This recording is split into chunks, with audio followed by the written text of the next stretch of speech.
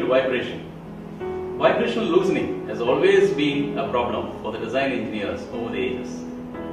Junker transverse shock vibration tests and tests on railway tracks have proved beyond doubt that anaerobic adhesives from Anabond have, prevent, have been preventing vibrational loosening by 1. bonding the mated parts together, 2. dampening the vibration caused by the impact, and 3. improving the torque tension relationship. And believe me, it's easy to use. Anabond anaerobic adhesives cure in the absence of air and the presence of metal to form a thermoset plastic that does this magic to fasteners. They are single component and room temperature curing. Let me show you how anaerobic thread lockers are applied. They come in plastic bottles like these.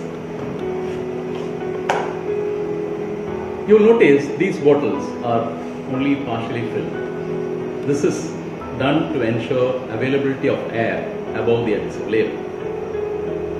Uh, in fact, these bottles can be kept open. They don't dry or completely uh, cure up. I take this bottle, I cut the tip.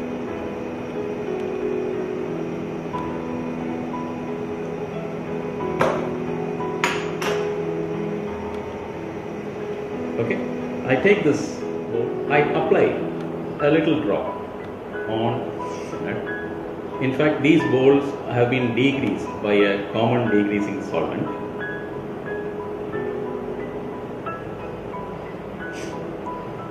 Just one drop is sufficient for this uh, M10 bolt that I am using.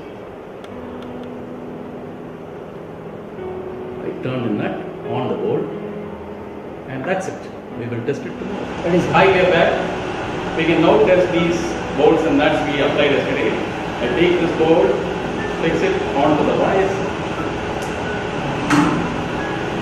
I have an electronic dot wrench with which I am going to test this. I fix it onto the bolt. This is the M10 bolt that we just disassembled. Notice the thin film of acrylic plastic in between. It's a thermoset plastic which dampens a vibration. It also creates a prevailing torque. A prevailing torque which is at times even higher than the breakaway torque. This magic product is the film that makes Anabond anaerobic thread locking adhesive lock bolts and nuts reliably.